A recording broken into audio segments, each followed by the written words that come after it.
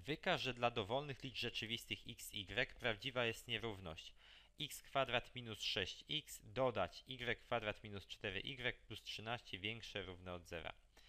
E, W takich zadaniach, gdy widzimy nierówność, powinniśmy sobie kojarzyć to e, z podnoszeniem do kwadratu, prawda? Bo kwadrat jest zawsze dodatni, zawsze jest nieujemny, czyli postarajmy się pozwijać to do kwadratu. Z czym nam się kojarzy x kwadrat minus 6x?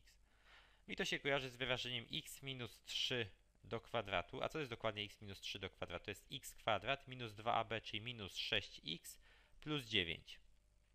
No ale tutaj dziewiątki nie mam, czyli żeby tutaj ni- niczego nie popsuć, odejmuję 9, żeby się wszystko zgadzało. Zgoda? Czyli tą dziewiątkę odjąłem tutaj za nawiasem.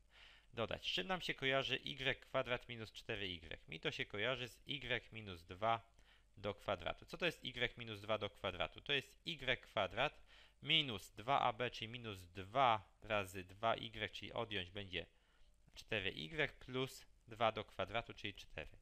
No ale tutaj nigdzie czwórki nie mamy, czyli musimy za nawiasem odjąć tę czwórkę, czyli minus 4.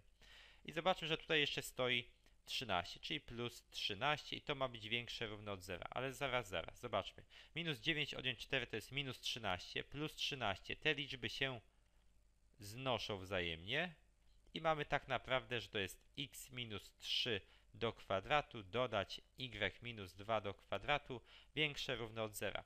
Proszę Państwa, cokolwiek do kwadratu jest zawsze nieujemne, czyli większe równo od zera, czyli to jest większe równo od zera, to jest większe równo od zera. Suma dwóch liczb nieujemnych jest nieujemna, co kończy dowód. Warto tutaj jeszcze jedno zdanie komentarza sobie wpisać zawsze.